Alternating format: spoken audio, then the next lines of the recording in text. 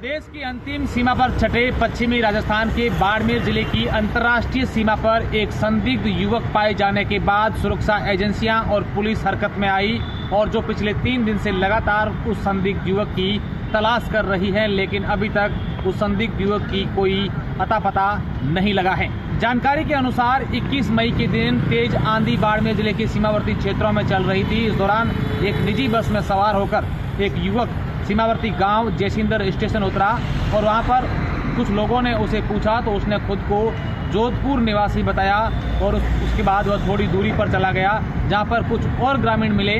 तो ग्रामीणों को उसने अपना निवास बिहार का बताया। इस पर ग्रामीणों को, आसपास के लोगों को शक होने पर लोगों ने गड्रा रोड पुलिस और बीएसएफ को इतला दी, जिस पर पुलिस की टीम और बीएसएफ की टीम सहित सुरक्षा एजेंसियाँ लगातार उसकी तलाश के लिए अलग अलग जगह पर दबी से दी, लेकिन देर रात तक उस युवक का कोई अता पता नहीं लगा। ऐसी आशंका जताई जा रही है कि वह युवक तारबंदी पार कर पाकिस्तान चला गया है।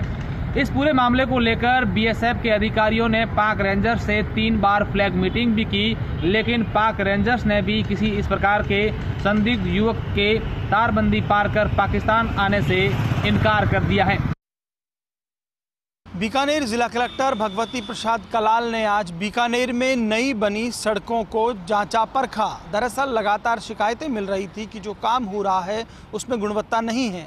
ऐसे में आज पीडब्ल्यूडी अधिकारियों के साथ भगवती प्रसाद कलाल सड़कों पर निकले। इस दौरान उन्होंने वहीं से नमूने भी कलेक्ट करवाए। उनका कहना था कि ये सुनिश्चित किया जाए कि जो भी नई सड़क बनी है, उसकी गुणवत्ता बिल्कुल सही हो। इस दौरान पीडब्ल्यूडी अधिकारियों को उन्होंने निर्देशित भी किया। कुछ एक मामलों में ज़िला कलेक्टर नाराज़ भी नज़र आए। खासतौर पर पेयजल की पाइपलाइन को लेकर उन्होंने दिशा निर्देश दिए। तो वहीं शाम ढले माटी परियोजना की समीक्षा की। दरअसल ज़िला कलेक्टर की पहल पर एक योजना चलाई जा रही है, जिसमें किसानों को चिन्हित कर उन्हें प्रशिक्षित किया जाता है कि वो अपनी ज़मीन के बारे में ज़्यादा कुछ जान सकें और सुझाव दे सकें।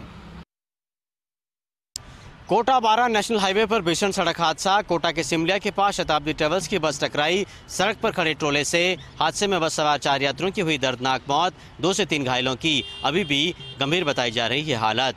बस में सवार यात्रियों के मुताबिक हादसे का कारण चालक की लापरवाही रही। गुजरात से चलने के बाद वाया कोटा कानपुर जा रही इस बस के यात्रियों ने कई बार चालक को बस की स्पीड कम करने के लिए कहा था, लेकिन चालक लापरवाही से और तेज गति से बस चलाई जा रहा था।